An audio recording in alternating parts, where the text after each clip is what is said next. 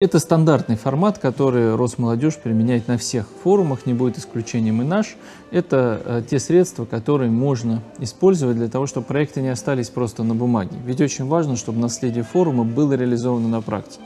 Ну и мне хочется, безусловно, э, чтобы форум был ежегодным. И я уверен, что мы из года в год будем делать отсечки, отслеживать, а как идеи и проекты, зародившиеся в одном году, реализованы до следующей встречи.